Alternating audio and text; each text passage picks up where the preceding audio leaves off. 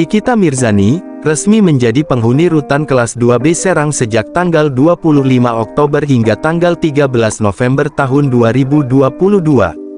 Nikita Mirzani ditahan, usai kasus dugaan pencemaran nama baik dan pelanggaran UU ITE atas laporan Dito Mahendra masuk ke tahap 2, yakni pelimpahan tersangka dari Polresta Serkot ke Kejari Serang.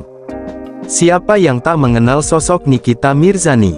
Artis kelahiran Jakarta, tanggal 17 Maret tahun 1986 ini, adalah wanita yang penuh sensasi, dan kontroversi dan tak pernah lepas dari perbincangan publik.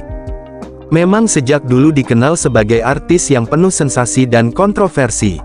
Perempuan yang akrab disapa Nyai ini juga tak segan menantang siapa pun yang tidak disukainya, termasuk rekan sesama artis.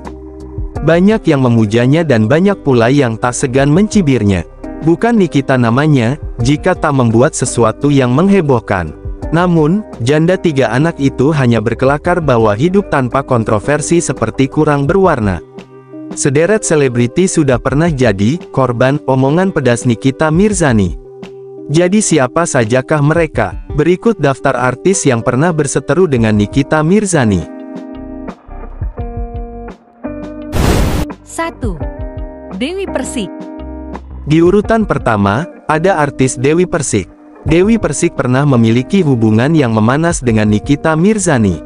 Pada Mei tahun 2021, Nikita Mirzani dan Dewi Persik pernah menjadi host di Sore-Sore Ambiar.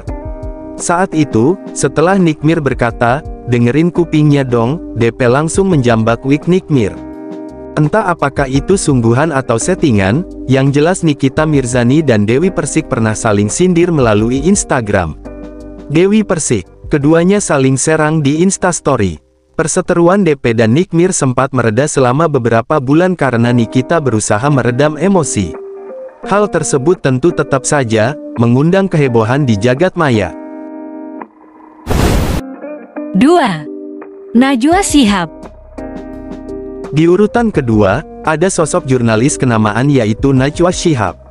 Sosok jurnalis kenamaan Najwa Shihab ini, juga pernah diserang oleh Nikita Mirzani. Terus-terusan disentil Nikita Mirzani di media sosial gara-gara sindir polisi, berbagai kritikan ataupun serangan, sudah dilontarkan Nikita Mirzani, untuk Mbak Nana melalui akun Instagram pribadinya. Namun, Najwa Sibab sampai sekarang tak memberikan respon apa pun terkait kritikan yang ia terima. Nampaknya wanita yang akrab disapa Mbak Nana ini terlihat tak ingin ambil pusing. Najwa Shihab pilih cuek. Nikita Mirzani menyemprot tindak tanduk Najwa Shihab yang seolah-olah memojokkan posisi kepolisian RI, yang kini sedang dilanda banyak kasus.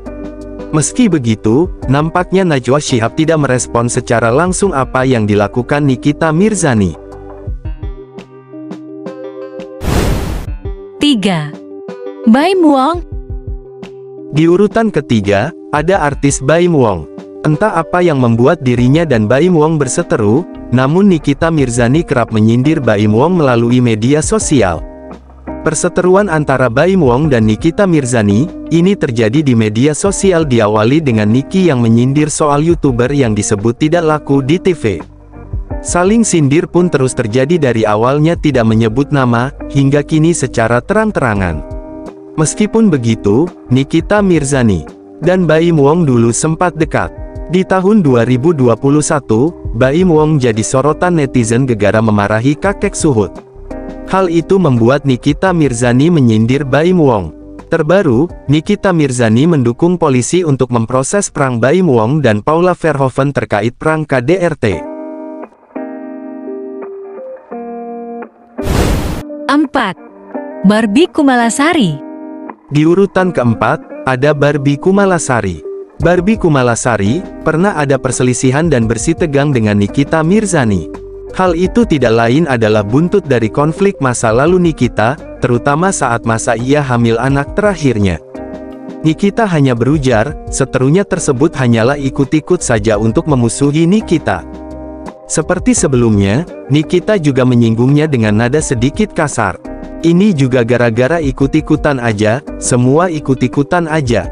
Biasalah kalau artis-artis enggak terkenal berantemnya sama artis yang terkenal banget, tutur Nikita. Bagi Barbie Kumalasari, tak ada alasan memperpanjang perseteruan masa lalu dengan Nikita Mirzani. Dua tahun terakhir ini sudah enggak ada masalah lagi. Kan bukan aku juga yang cari masalah. Lagi pula apa juga sih yang mau diributin, ujar mantan istri Gali Ginanjar ini. 5. Andika Pratama Di urutan yang kelima, Andika Pratama. Suami dari Usi Sulistiawati ini pernah berseteru dengan Nyai. Akar masalahnya adalah, Andika menuding acara Nikita Mirzani menjiplak persis konsep acara milik keluarga Andika Pratama. Pada akhirnya, Andika meminta maaf kepada Nikita Mirzani dan timnya, tapi Nyai belum puas. Ia malah menyebutkan beberapa nama artis yang menurutnya dimatikan rezekinya oleh Andika. Konflik mereka berdua sempat viral dan heboh. Karena sampai harus membuat Andika Pratama dan Usi ke pihak Trans TV untuk meminta maaf, setelah disindir Nikita Mirzani. Tapi ternyata marahnya Nikita tidak berhenti sampai di situ. Nikita lagi-lagi murka karena video permintaan maaf Andika Pratama ke pihak Trans TV dijadikan konten juga di akun YouTube-nya.